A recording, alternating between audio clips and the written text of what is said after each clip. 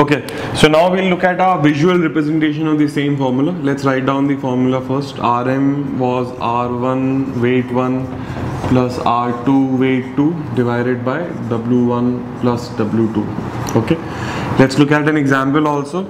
Let's say uh, group has uh, 8 people. So this would be your R1 their average weight is given as let's say 40 kg. And there are uh, four people and their average weight is given as 70 kg. Okay? So what would be the new average weight if these two groups are combined? So this would be your r2 and this would be your weight 2 why? Because this this is 40 kg per person. Yeah weight per person and there are eight people this is 70 kg per person and there are four person or four people involved here. So if I plug in these values here I'll get the answer straight away which will not be too much of a problem. But we want to do it by the visual approach. So we'll see how that works okay? Uh, this is called the scale method also called alligation in some areas okay? But this is the approach here. Draw a line first of all. I'm telling it step by step. Draw a line which is a very very easy step on one side of the line write uh, rate 1 on the other side write rate 2 okay? Above rate 1 this is this is not a mathematical representation it's more of a visual representation. Put weight 1 and put weight 2 right uh, and you put a ratio sign here that means you're not interested in the number you're interested in the ratio. So let's put that information here and and see what will happen. So r1 in r we we uh, we remember if I, if we remember our data um, r1 was 40 and r2 was 70 weight 1 was 8 and weight 2 was 4 okay? So this 8 is to 4 becomes a the ratio becomes 2 is to 1 yeah. Once you've got this ratio or you could have just called it w1 is to w2 also. Once you've got this ratio write this ratio flip this and write it down in terms of w2 is to w1 or 2 is to 1 now writing this ratio here below this line means that you have to divide this line into two parts. One two parts the parts are in the ratio 2 is to 1 okay? This part is 2x so this part would be 1x yeah? So once again uh, we look at the steps again but so, so far I have taken the ratio and written it uh, in, in the reverse form here okay? Now what does this mean? This means divide the ratio this, this scale or this line into two parts in this ratio okay? This line is how long? This line is 70 minus 40 right? 70 minus 40 so the length of this line is 30 you want to divide it into two parts which are of uh, which is 2x and 1x so total becomes 3x this 3x is equal to 30 so the two parts would be 20 and 10 yeah? You could have also done this part is 2 by 3 of the difference which is 70 minus 40 and this part would have been 1 by 3 of the distance which is 70 minus 40 30 right? So once we get this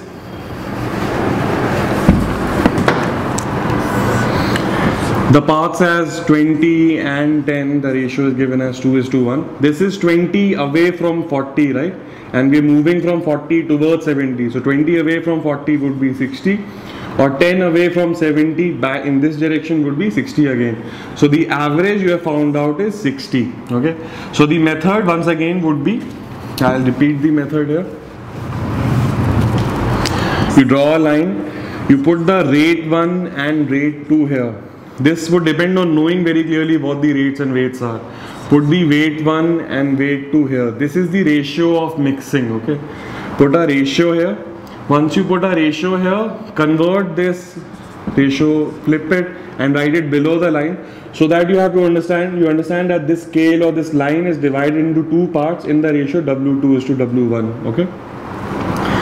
So when once you do, so let's say this part is P1 and this part is P2, it would be your rate mean would be rate 1 plus P1, you get to rate 1 or rate 2 minus P2, you get to rate uh, the mean rate also, okay.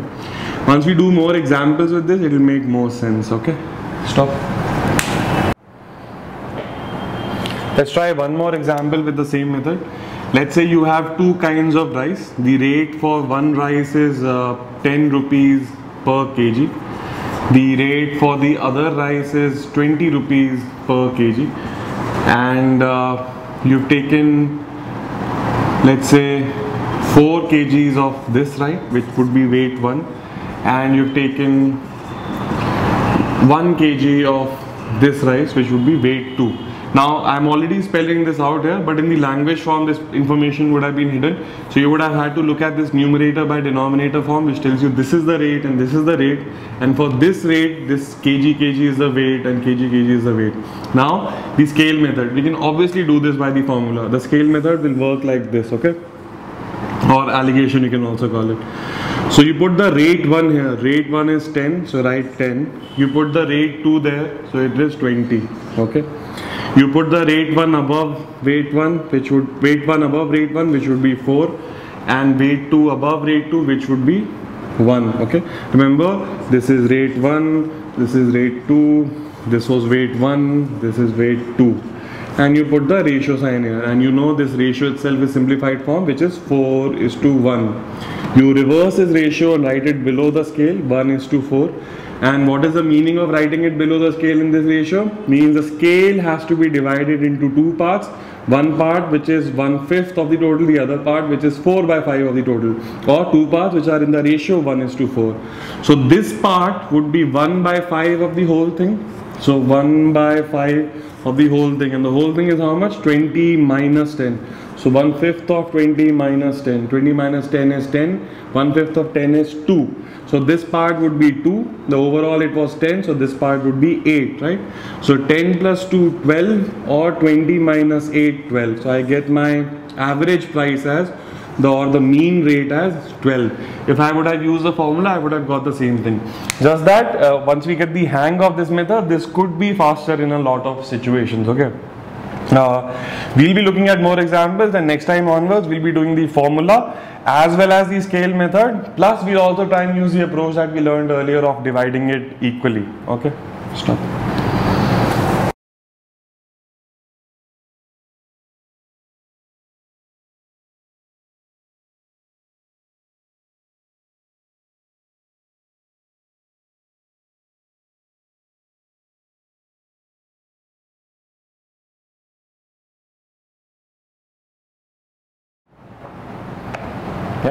So this question, uh, borrowed rupees 6000, rupees 6000 at a rate of 4% and borrowed 4000 so that's the second story 4000 at a rate of 6% we clearly see it is mentioned in the question itself rates are given. And this is uh, interest rate that we are talking about. So interest is uh, interest rate is interest upon the principal. That means the weight is the principal right? So now draw the line here put the rate on one side put the rate on other side okay above the rate put the weight which would be 6000 above the rate put the weight which would be 4000 now take the ratio form, this ratio form will become 3 is to 2. Flip it, it becomes 2 is to 3. So my answer is going to be, if I want to stretch my answer, what does this mean? This means that it has to be divided into, this scale has to be divided into two parts which are in the ratio 2 is to 3. So this part would be how much? Would be 2 fifth of how much? 6 minus 4 which is 2. So 2 fifth of 2 would be 0.8 or 3 fifth of 2 would be 1.2 right or your overall answer could have been 4% plus 2 fifth of 6 minus 4 or 6% because we're coming 4% we were going ahead that's why the plus from 6% we are coming back. So 6% minus 3 by 5 of 6 minus 4 which would in both cases give me 4.8% okay? Uh, we followed each step. I hope this made sense okay? Because now we're going to try the same problem with the different approaches okay?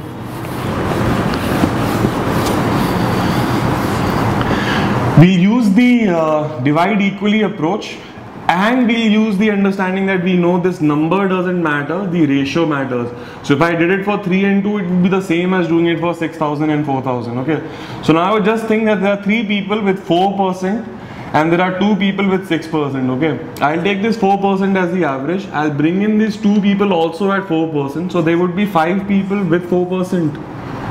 Yeah. But the truth is these two people had 2% extra each. So overall they carried 4% extra, right? This 4% extra should also be divided between 5 people because there are 5 people now. Everybody gets 0.8%, right? So we are already given 4%, let's give them 0.8% also. So for the 5 people, the overall rate would be 4.8%. Yeah. So it could be done like this also. Of course, we could do it using the standard formula, but I don't think we need to look at that right now. Stop.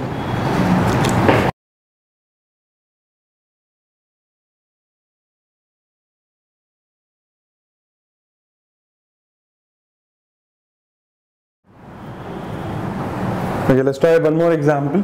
Now this time with uh, solutions. So let's say there is one solution with 40% milk and there are there is a total of 40 liters of the solution. There is another solution which has 50% milk and let's say there is a total of 10 liters of that solution okay so first of all this is 40% milk and this is 50% milk what does it mean? This is one solution which has milk and water. Milk is 40%. That means the remaining would be water. Water would be 60%. Similarly, this solution has milk and water. Milk would be 50% and water also would be 50%. And these two are being put together. They are being mixed together. And the question is, what will be the milk percentage in the new solution once I put them together what will be the milk percentage in the new solution the question could also be what will be the water percentage in the new solution or it could be what is the ratio of milk and water etc etc. So we'll be using the scale method. We know to, to draw the line.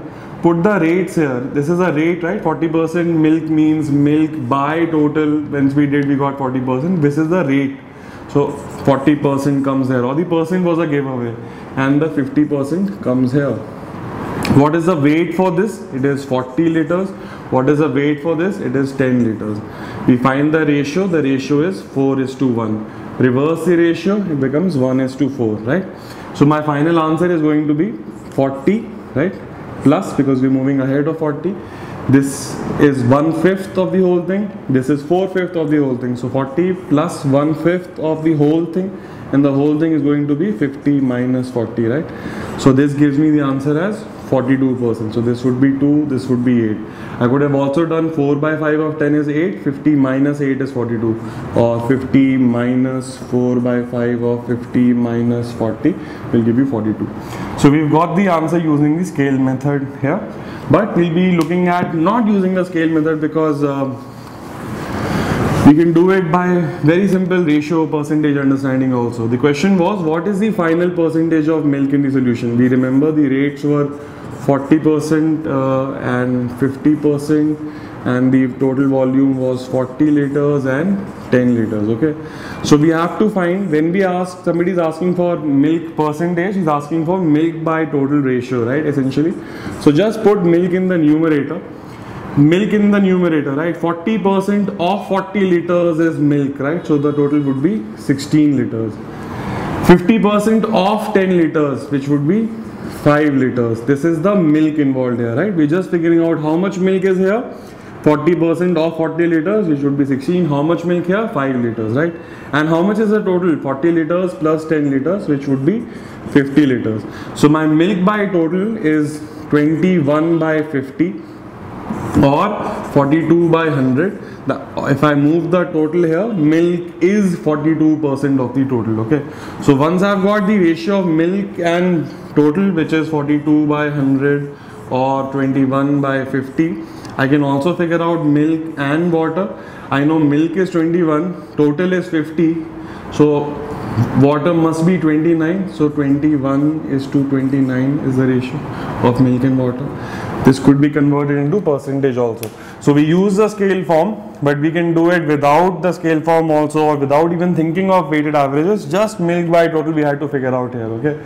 So that would work in a lot of questions. You can do something by the scale method or the formula or just by simply figuring out what the question is asking us to do okay?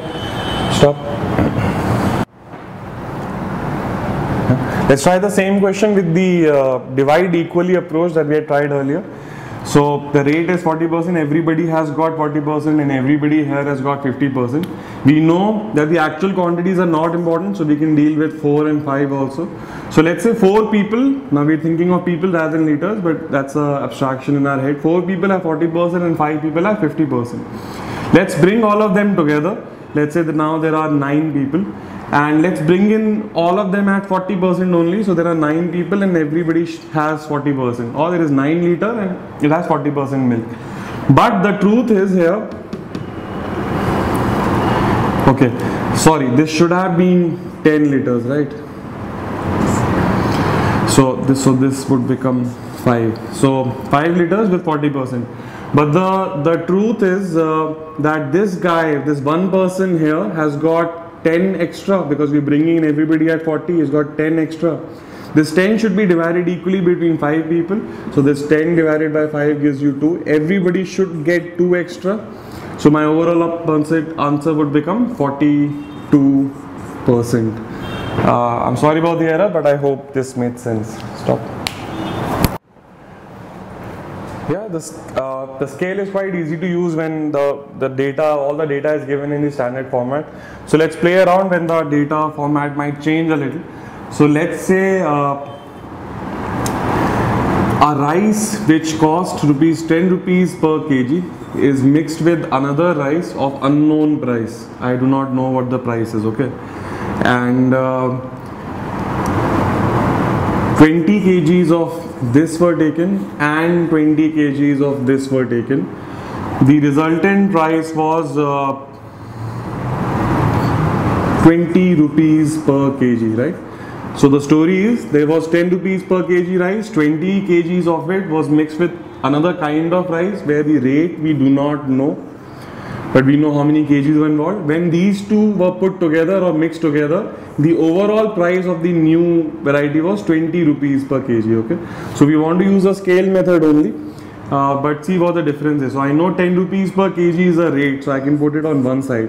The other rate is not given here, so just put it as x here and follow the same process. The weights are 20 and 20, 20 and 20. So this ratio would become 1 is to 1 even if I write it backwards still is 1 is to 1 right? But I know my average my rate M I already know so I'll mark it somewhere as 20 right? So the scale is already divided because I know the resultant the scale is already divided for me right? So this section is 20 minus 10 10 I know this section and this section are equal because they are of the same ratio. 1 is to 1 so if this is 10 this would also be 10 20 plus 10 gives you 30 right? So we're using the scale only but it's this time uh, we not I mean the we did not use the linear way. We went around a little. But the same method is being used the same approach is being used. So we need to understand it from all possible directions. Practicing with certain questions will definitely help in that direction. But yeah it works here. Okay? Stop